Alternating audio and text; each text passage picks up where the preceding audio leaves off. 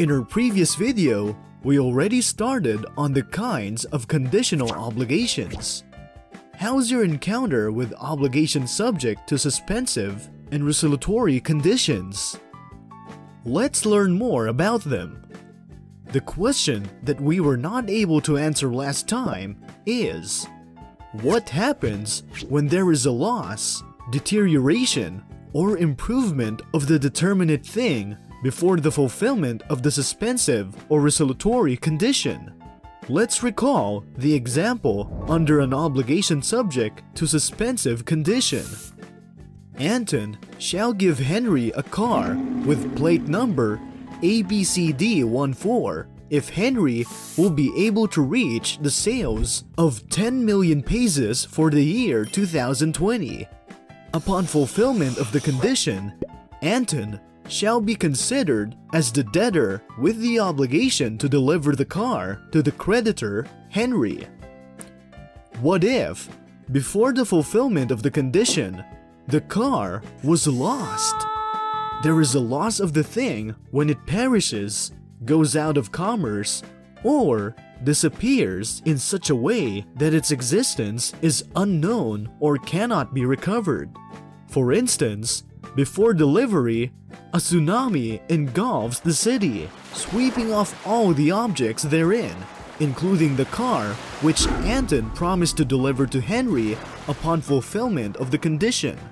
If the car perishes before the happening of the condition, which in this case is to achieve the 10 million peso sales for 2020, without the debtor, Anton's fault, then the obligation is extinguished.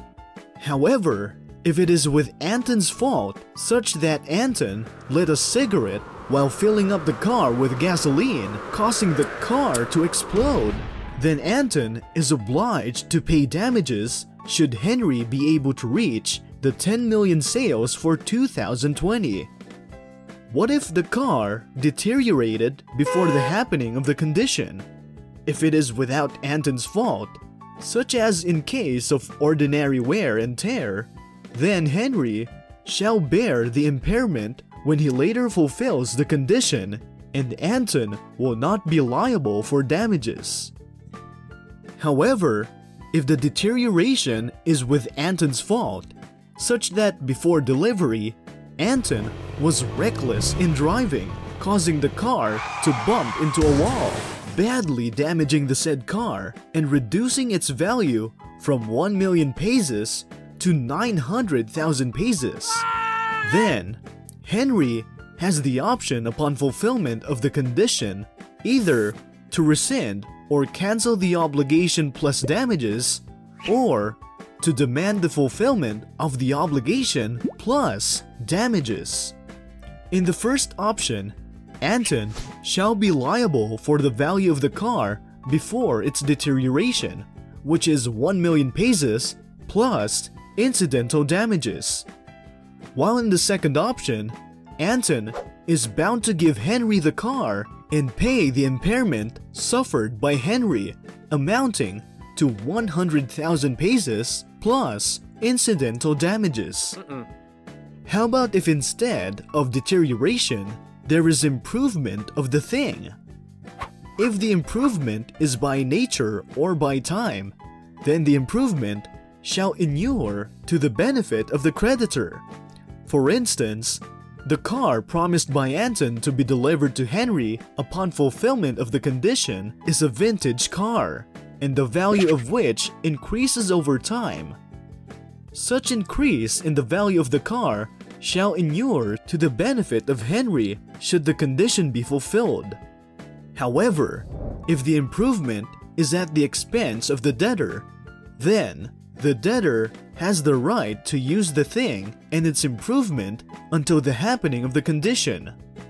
For example, Anton had the car reconditioned and its car seats upholstered. Then, Anton has the right to use the car and its improvement until the fulfillment of the condition. He may also remove the improvement if it will not cause damage to the car. But if the removal shall cause damage, then Anton shall deliver the car to Henry with the improvements without the right for indemnity. But if before Anton's delivery of the car to Henry he had caused some scratches in the car, then Anton may set off the costs of reconditioning the car against the costs of the damages to the car. In the case of obligations subject to resolutory conditions.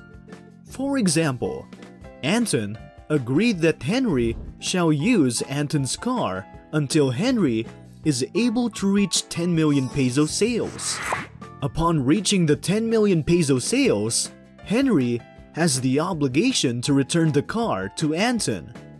What happens if there is loss, deterioration, or improvement before the happening of the condition? Well, the same rules that we have mentioned a while ago shall be followed.